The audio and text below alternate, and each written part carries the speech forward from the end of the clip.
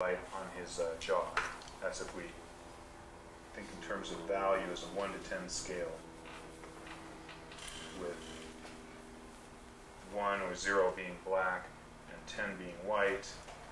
If the value of his head is a 9 or an 8 or 7.5, then this would be a 7, and this might be a 6.5. So there's a very subtle fall off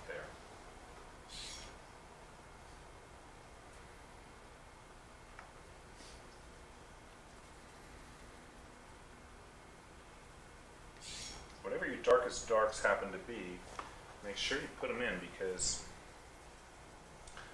those are going to have a great influence on the uh, on the values of your uh, lights.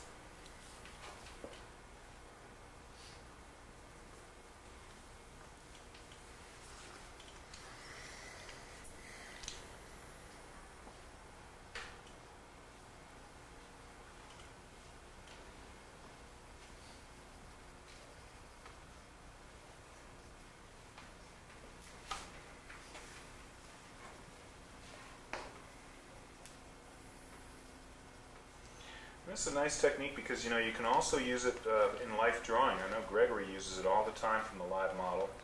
Um, get some real beautiful effects. Figure up there um, above the bookcase, second from the end. It's an example of prisma and Turpenoid from life. Maybe that's a good way for you to practice before you get a job with this.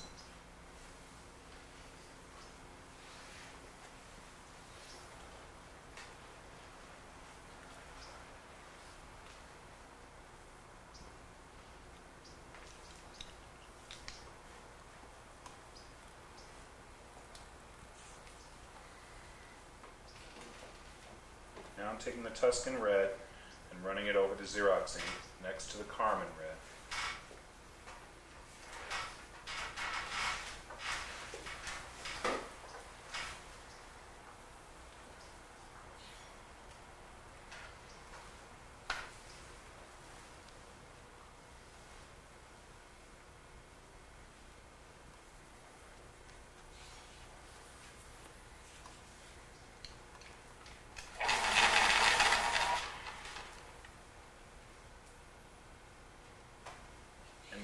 Turns from light into shadow, I come in with the Tuscan red. And then here, these planes around the mouth, the mustache, or would be a mustache if you didn't shave, we have to deal with as being slightly grayer.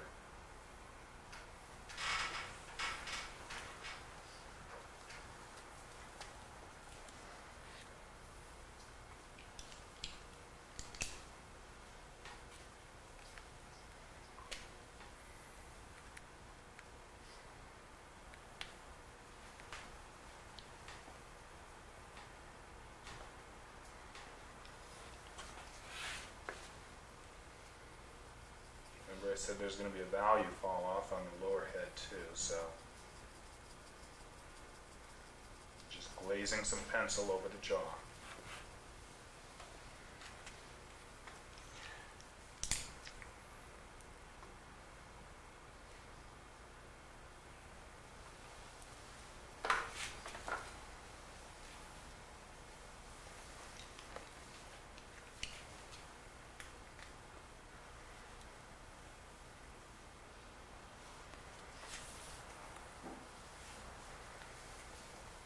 softening the edges bangs.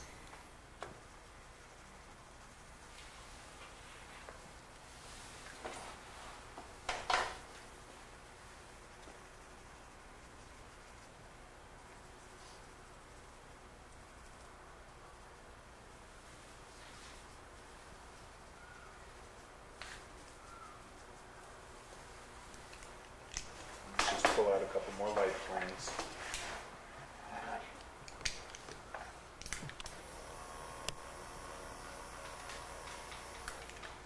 Now the point of this is not, again, to show how intricate and tricky and all that we can be, but how simple and effective we can be. Just like this one, I can carry it farther, but pretty soon it's going to reach a point where any art director at this stage in the drawing, if he has a problem with the artwork at all, it's not going to be because he doesn't think the heads are rendered enough. You may think that, I may think that, but that's not what he's going to be looking for.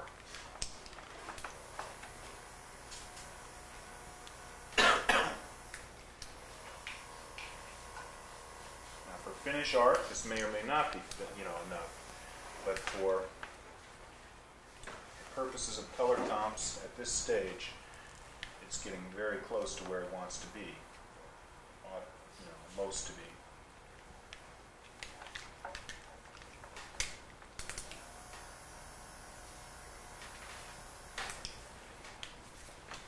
Let's just take a little bit of paint now and show you how you can pop a couple of things on these heads. For that, you know, you can actually paint with color on this. I think at this point, just to keep it simple, just talk about putting in whites and possibly a couple of darks, although the darks are probably not necessary. So uh, just a little slip of paper or something, I can just lay some white, titanium white on, just a tear sheet or a slip sheet from somebody. It doesn't have to be anything. That's good.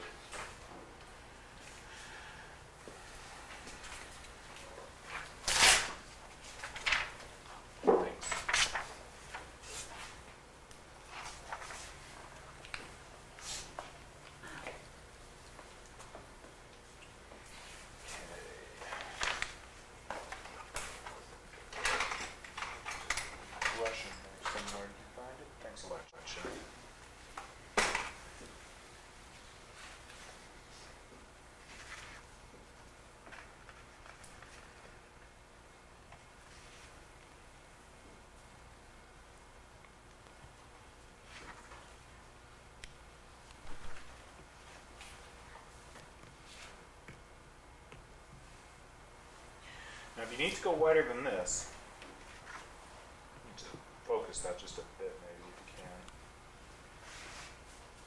And you can zoom in a little more if it's possible. As close as you can get us on this head. Focus. Okay. Now, if you need to go wider than this, it's actually possible if you get Badger pre-reduced airbrush white. Whiter than titanium white acrylic.